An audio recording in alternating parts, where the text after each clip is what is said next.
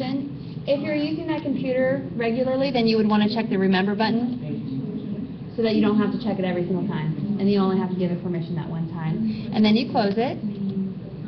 And then you would give your introduction. So for me, I could say, welcome to INFS 1010. This is computer application. In this course, we're going to be learning about Word, PowerPoint, and Excel. Yada, yada, yada. And then just stop recording.